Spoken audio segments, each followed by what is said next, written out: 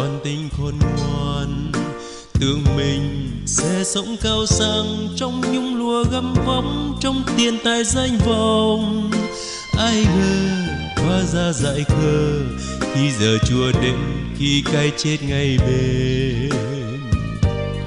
Đời chỉ thế thôi, cho ai lo hương thụ và thu tích cho mình.